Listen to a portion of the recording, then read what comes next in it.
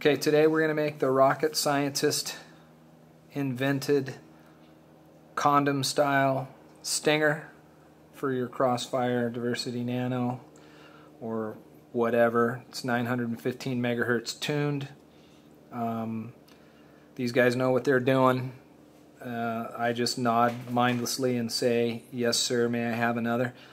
Um, but anyway, uh, the first thing, what you're going to need in order to do this silver Sharpie, it's what I use, a dental pick, $1.99 at my hardware store, Amazon probably has them, a razor blade, some swabs, uh, some flush cutters, some, I use gray electric tape, lay out a piece of electrical tape on your bench, mark 78 millimeters off in two places. I just use an old piece of frickin' whatever I got to draw mark a straight line so I measure those off at 78 millimeters. Boom 78 boom 78 and then down here I got 30 a little shy of 30 maybe 32 millimeters is my tail that'll get me underneath the platypus and into the diversity nano receiver as seen here. Um, so that's how I have my setup rigged. Um, basically, this is one that I just uh, I just completed. I have not trimmed the feed end to total length yet because I still have yet to uh, secure the ground plane in place. But as you can see, I got the ground plane right at 78 millimeters. It's exactly what you need. And then once I once I secure this and get it all, I use super glue and I'll show you that in a second, but once I get that done, I'll trim this to length and then uh, put it in the feed tube, or put it in the uh, forever tube. So, what do you get? You get these extensions um, from the guy on eBay, Wi-Fi Expert I think his name is. I'll put a link in the video, but these are U.FL extension cables that are like 24 inches long. So just put them together like that find the center, cut it, okay, set the other piece aside, take my lead, um, I lay it out here like this. Oh, the other thing you're going to, so let's go back to what you're going to need. Alcohol swabs, dental pick, razor blade, flush cutters, pen, tape.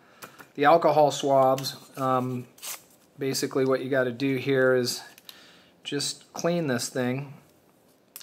And the only reason you need to do this is so that the Sharpie will stick to it just just temporarily enough to give you um, sort of a, a guide.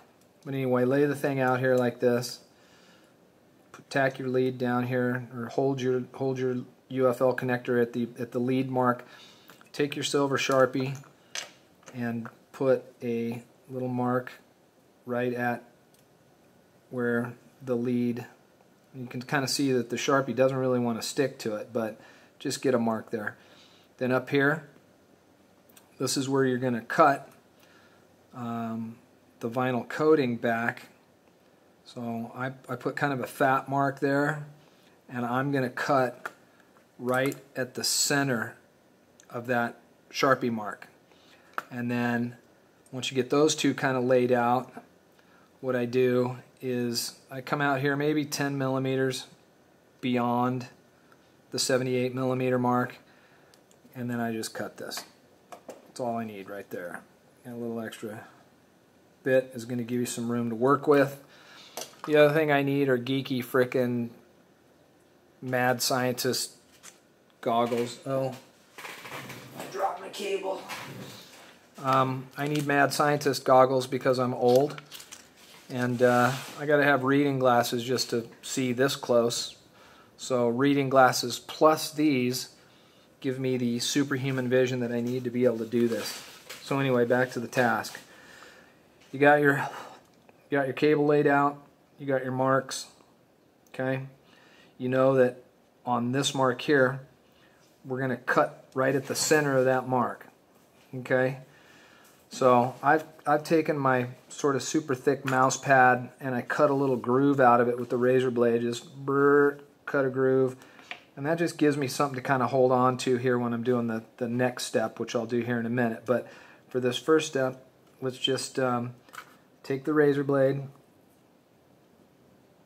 and find the, the center of the, of the mark that we put on here. So find the center, roughly there, and you just kind of roll the cable underneath the razor blade without putting a whole lot of pressure on the cable.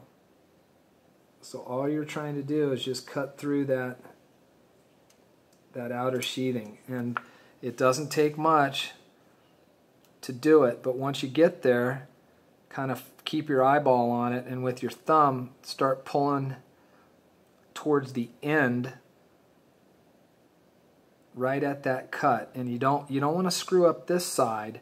You want to try to leave that as sharp of a cut as possible. So just find the, the little score with your with your thumb and start just sort of digging at it to expose. And as you can see here I've exposed just a little bit of the of the uh, ground shielding and that's all you need to get a start on it so just start tugging on it a little bit and work your way around till you've kind of gone all the way around the thing and exposed the ground shield below the cut.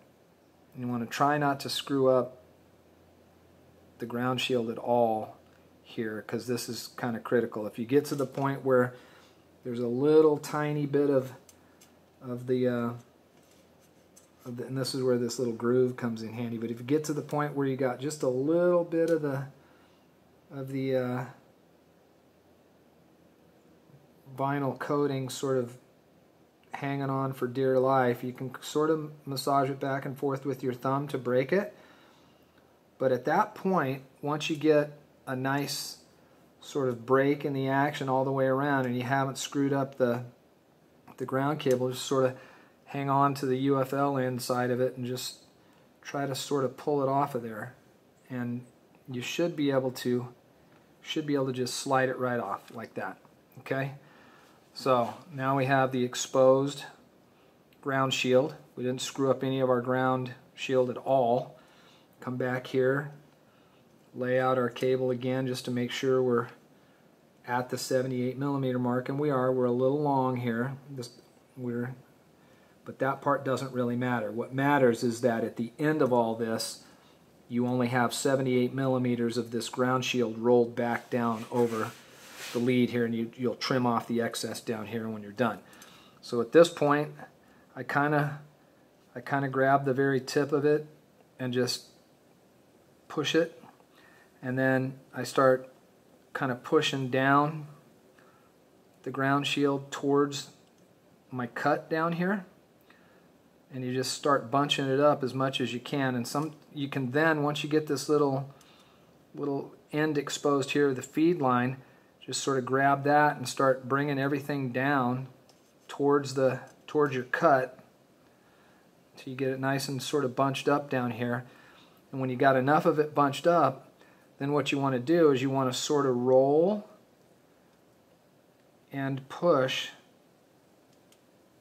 And you, you don't want to try to force it all at once. You want to get as much of this bunched up down here as possible so that you can get this around the corner because and sort of roll and work your way around it till it till it till it starts to go. And once it starts to go, you can kind of feel it. It sort of gets easy again, and you just sort of keep pushing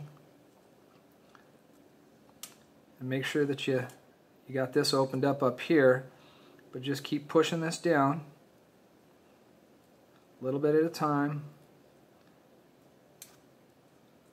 Get up here and once it gets past, once you get past the feed line part of it, it kind of gets a little easier, but just take your time and work your way right at the base of the roll for the most part. And once you get down here, just sort of massage it and comb it all out. Kind of roll and comb, roll and comb, being very careful. So sorry for the pause in the video action there. My camera, my phone just stopped recording.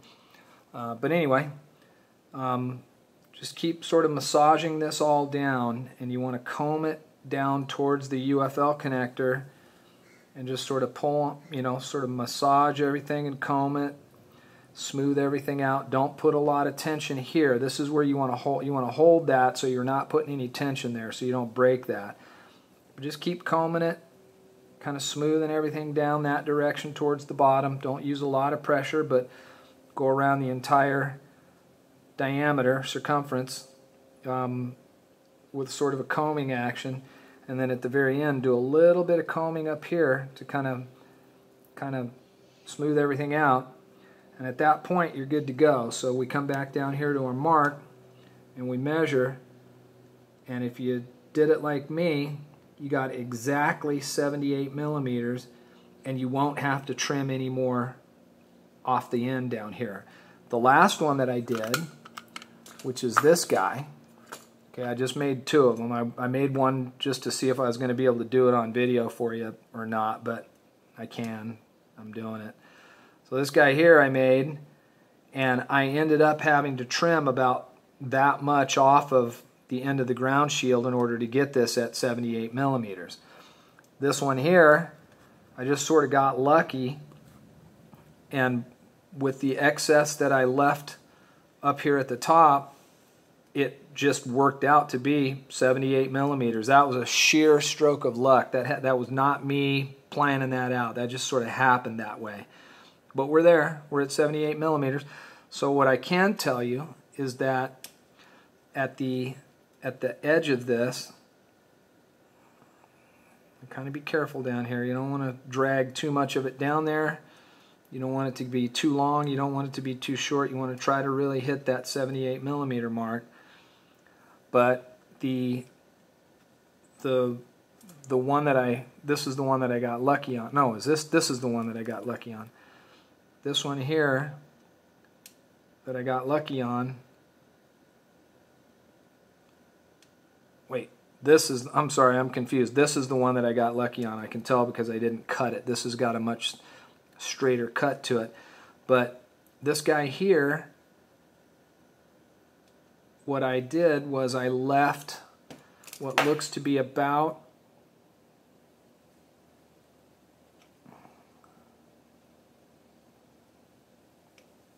just maybe 14 millimeters, 14 and a half, maybe 14 and a half millimeters extra, maybe 15 millimeters extra beyond the, so 15 millimeters beyond the 78 at this end is what I left here, whereas this guy, which I ended up having to cut, I left a lot more. You can see this guy is like, I left, what, 25 mil, 24 millimeters here.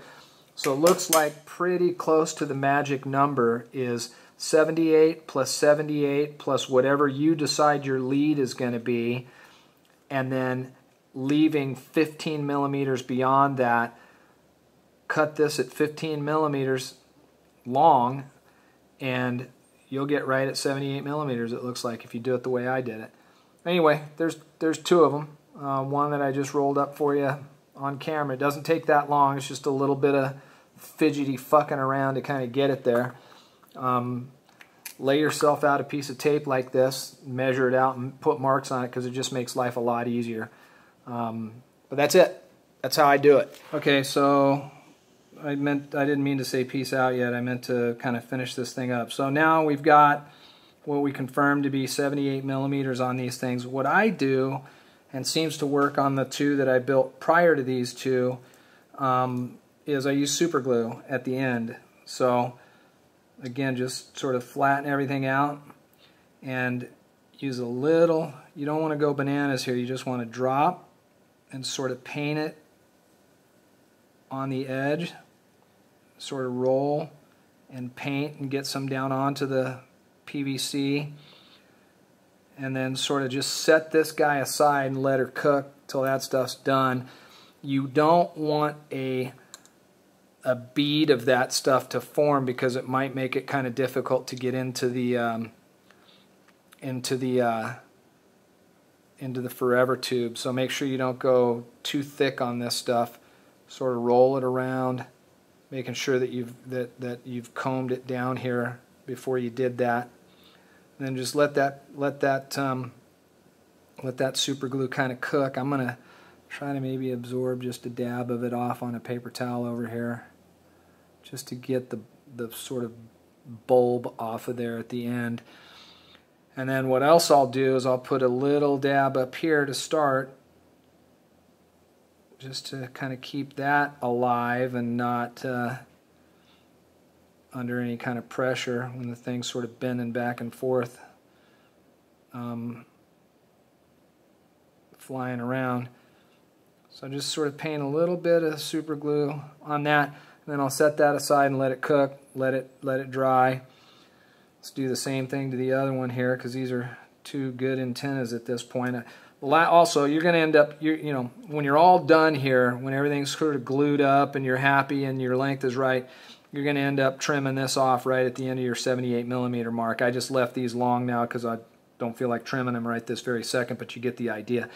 Same thing here just paint a little super glue down on the edge very sort of carefully and slowly. Just give yourself a little little bit of super glue love down at the bottom here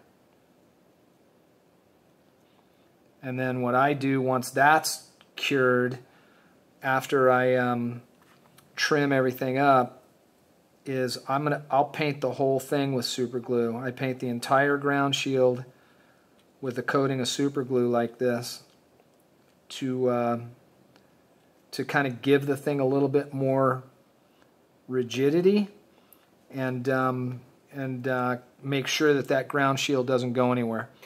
But anyway, you get the idea. Peace.